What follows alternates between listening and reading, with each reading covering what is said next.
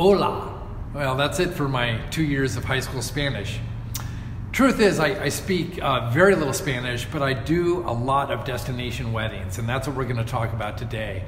I have been really fortunate over the years to travel all over the world to do some really cool events for some really special people. Um, and I've learned a lot of lessons along the way, so I'm going to share with you a few tips. So if you're hiring a photographer, uh, keep these in mind.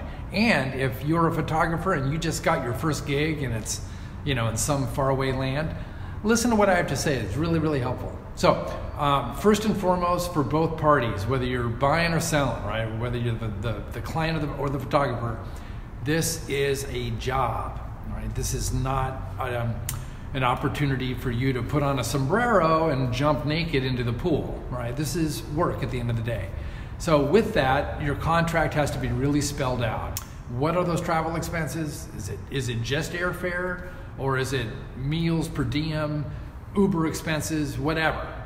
Figure out what your travel costs are and who's paying for what, and get that in writing ahead of time.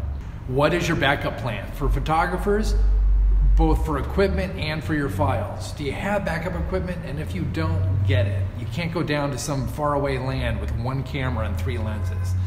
Um, so, and also your files. What are you doing with those? Are you making copies? Are you sending them to the cloud? What are you doing? Again, I, I typically do two and three day events. So if I go down to Mexico City, say for example, I may shoot um, a rehearsal dinner.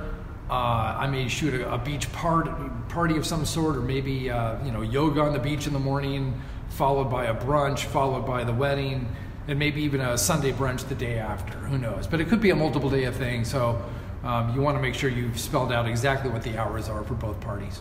All right, so to wrap it up, just quick, the, the, the, few points. Don't hire a rookie. If the person's never done it before, it's probably not a good time to risk your wedding photography on that. Um, have a backup plan, have travel expenses, and all of this spell out very clearly in the agreement. So this goes for both sides. Photographers, what is your backup equipment, and what are you going to do with those files after you shoot them?